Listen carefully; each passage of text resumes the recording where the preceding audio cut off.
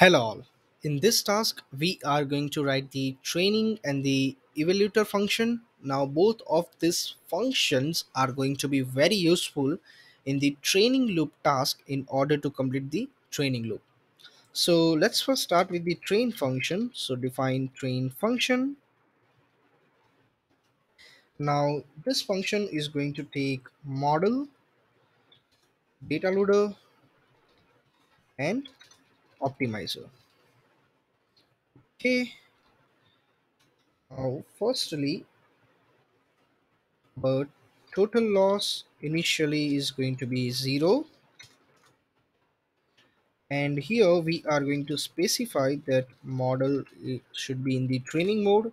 Now this is because when model will be in the training mode or uh, if it is doing any gradient computation so at that time the dropout layer should be on.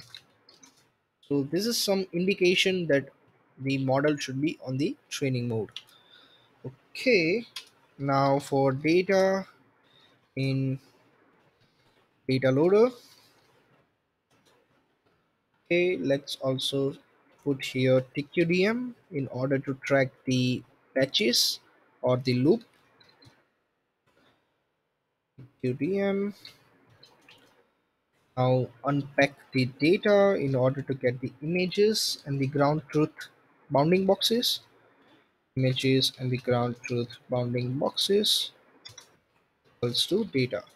Now we are going to move our images and the bounding boxes to the GPU device. So images comma ground truth bounding boxes equals to images dot to device.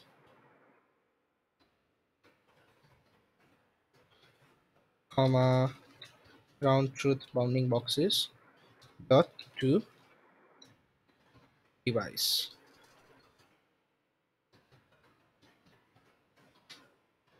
Okay. Now bounding boxes. Comma loss when we will pass our image this and ground truth bounding boxes to the model. So we will get the predicted bounding boxes and loss. Now here we are going to do the gradient computation steps. So uh, firstly we are going to mention optimizer zero grad. Is going to be zero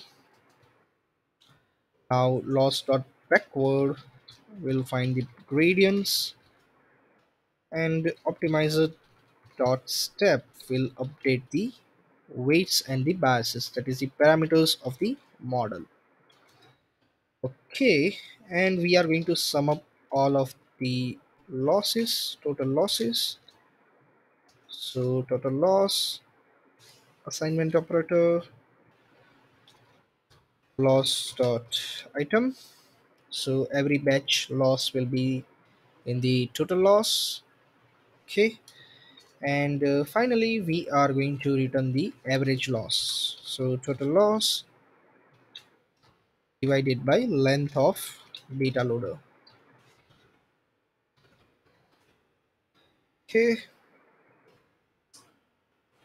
Let's run this cell now we are going to create the eval function. So let's just copy this train function.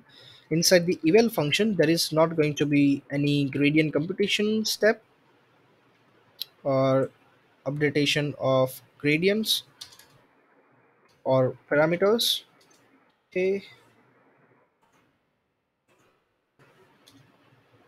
So in the eval function we do not need any optimizer also here instead of train we are going to specify eval in order to off the dropout okay eval function. Okay so far so good. One thing that you can also do here is you can also mention with torch dot no grad in order to be sure that there should be no gradient computation inside the eval function. Okay. So far so good. Let's also run this cell. So we have successfully created the train function and the eval function. Now both of these functions are going to be very useful in the training loop task. So see you in the next task. Hello all. Welcome back in this task we are going to compare our actual bounding box that is the ground truth bounding box to the predicted bounding box. So here we are going to import a utils that is the python file. You can see in the dataset folder. So this utils python file contains one function that is the compare plot which will be very useful to plot the ground truth and the actual bounding box image. So let's first run this cell. Okay. Now we are going to load our best weights. So model dot load state dict then torch dot load. And uh, you can see our best weights here best model dot pt so best model dot pt okay. Now model dot eval with torch dot no grad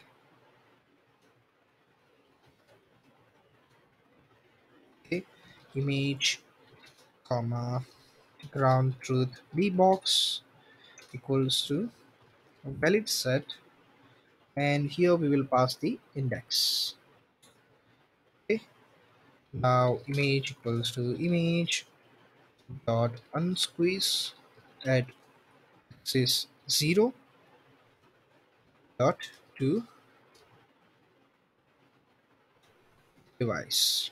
Now why unsqueeze 0 this is because at this point our image shape is channel height and width but when we are passing the image in the model our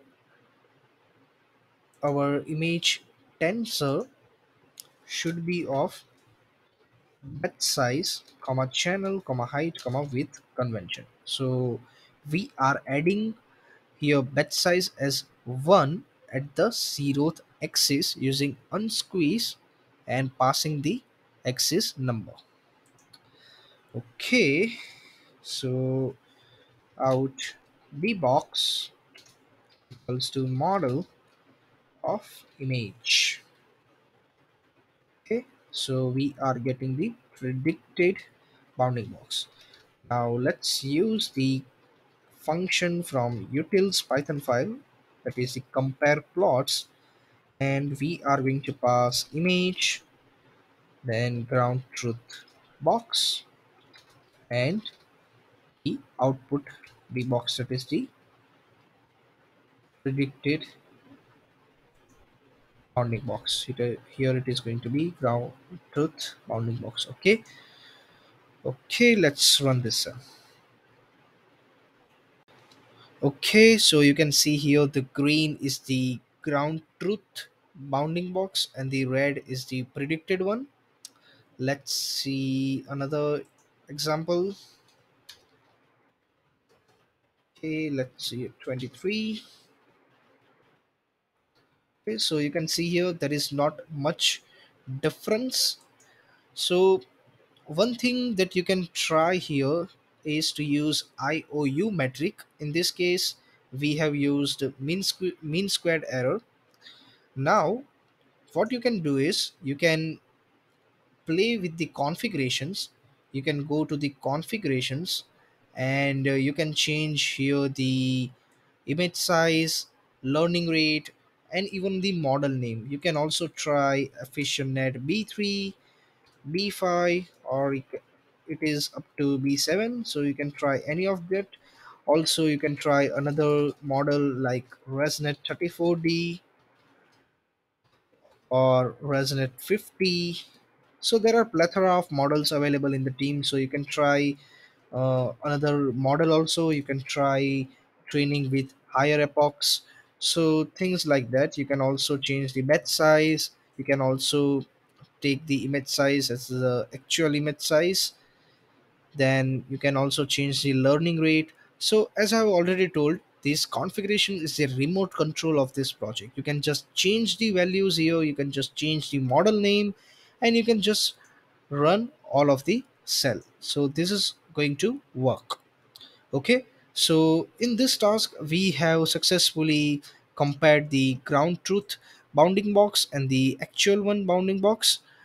Uh, we have actually compared the ground truth and the predicted not the actual. So ground truth versus predicted. So i hope you enjoyed this project. So see you in some another project